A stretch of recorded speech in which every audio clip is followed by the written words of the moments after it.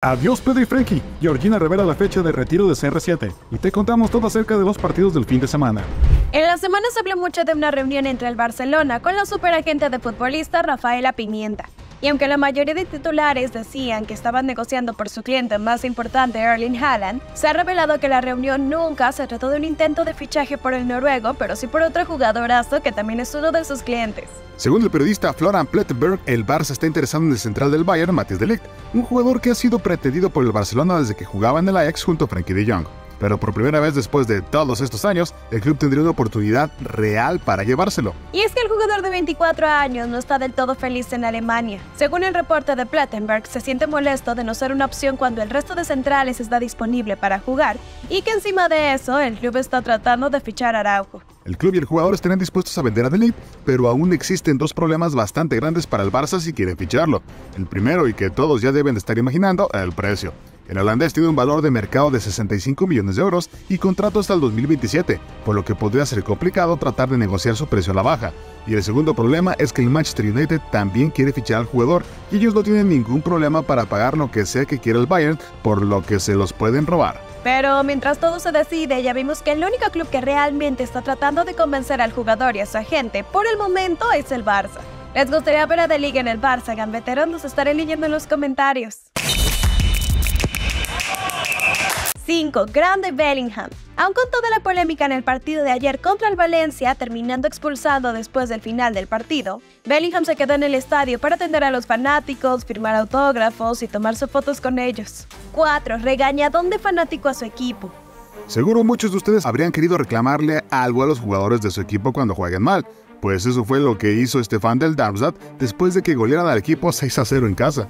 Algo entendible cuando nos enteramos que después de esa goleada, el equipo está en el último lugar de la Bundesliga. 3. Se complica el reemplazo de Xavi. Uno de los candidatos favoritos para suplir a Xavi la próxima temporada es entrenador del Brighton, Roberto De Servi, pero tal vez el Barça debería quitarlo de su lista ya que el Brighton les está pidiendo pagar 15 millones de euros para llevárselo. Una cantidad demasiado alta para un entrenador. 2. Te pegó Messi. En el partido de ayer entre el Inter de Miami y Orlando City, Lionel Messi le dio un pelotazo por accidente a una niña pequeña que estaba en las gradas. Sabemos que estas cosas pueden pasar, pero lo que no entendemos es por qué el papá se emocionó de que Messi le pegara a su hija. Está bien, mi amor. Me lo pegó Messi, mami.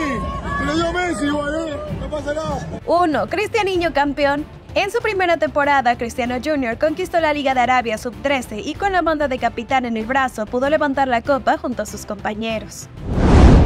Hubo derby de Manchester Gambeteros, un partido que tuvo muchísimas sorpresas, empezando porque el United lo empezó ganando con un gol asazazo de Marcus Rashford al minuto 8. Después de eso el City lo intentó y lo intentó, pero no pudo romper a la defensa del Manchester United, ni siquiera Haaland que tuvo una sola y sin portero, pero que la mandó inexplicablemente arriba del travesaño. Pero en el segundo tiempo los ciudadanos no perdonaron nada y con un doblete de golazos de Phil Foden, el City consiguió la remontada y en el descuento Erling Haaland se redimió marcando el 3 a 1 definitivo. Con este triunfo el City se pone a solo un punto de Liverpool en la lucha por el título y el United cada vez se aleja más de los puestos europeos. Pero en Alemania parece que la liga ya se decidió, y es que Leverkusen venció al Colonia 2 a 0, poniéndose así a 10 puntos sobre el Bayern.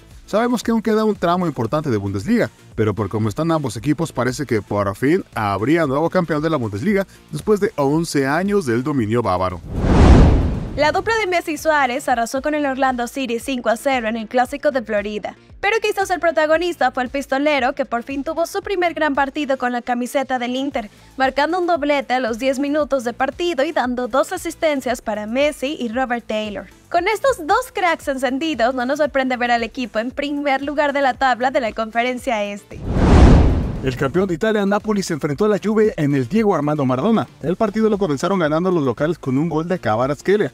El partido siguió muy igualado hasta el 81 cuando Chiesa lo empató con un gran remate desde fuera del área, pero antes de la final, una mano de Bremer le regaló un penal a los napolitanos que aunque lo paró Chesney, no pudo parar el segundo remate de Raspadori, que aseguró la victoria 2 a 1. Con este resultado la Juve podría quedar a 15 puntos de abajo del Inter, que tiene un partido menos.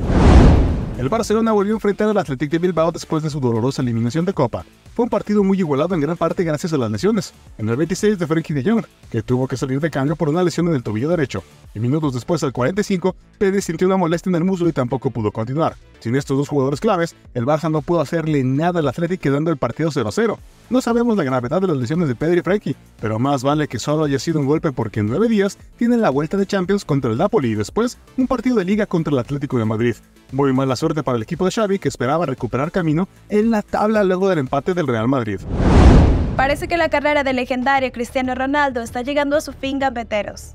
Y es que después del desfile de la Semana de la Moda de París, en donde la pareja de Cristiano, Georgina Rodríguez, desfiló con un vestido en alusión a su esposo, alguien la grabó hablando de Chris y en esa conversación reveló lo que nadie quería escuchar, la fecha en la que se retiraría el bicho.